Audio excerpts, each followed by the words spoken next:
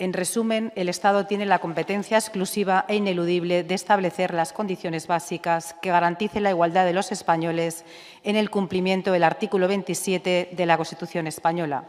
lo que implica que debe asegurar que todos los españoles puedan acceder en igualdad de condiciones a la educación, también a la educación universitaria. Sin embargo, las deficiencias del modelo territorial de España y la nefasta política educativa del Gobierno de Pedro Sánchez han provocado desigualdades significativas entre los españoles, que son especialmente agudas en el acceso a la universidad.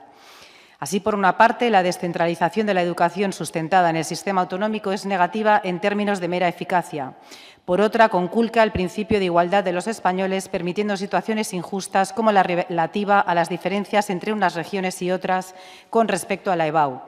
Una transferencia competencial que provoca desigualdad de derechos entre los nacionales de un mismo país es síntoma de un grave deterioro institucional, máxime si estas competencias atañen a un derecho tan esencial como la educación.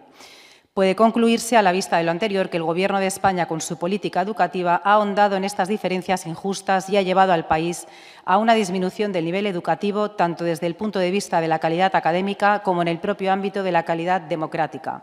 Por todo ello, urge llevar a cabo una reforma del sistema educativo que comience por garantizar la igualdad de oportunidades de los jóvenes españoles a través de una prueba única de evaluación de bachillerato para el acceso a la universidad en todo el territorio nacional.